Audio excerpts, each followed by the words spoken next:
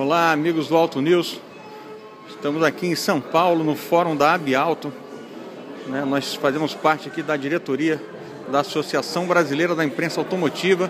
Estamos num fórum de sustentabilidade em São Paulo. A gente está mostrando para vocês é o Audi R8 LMS, um bólido de corrida feito em fibra de carbono, com motor de mais de 500 cavalos. Um carro realmente feito para a velocidade. A gente vai mostrar aqui um pouquinho dessa super máquina.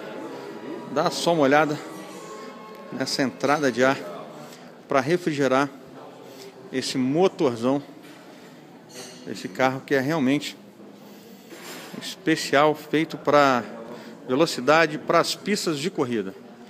É o Alto News no Fórum Abialto em São Paulo.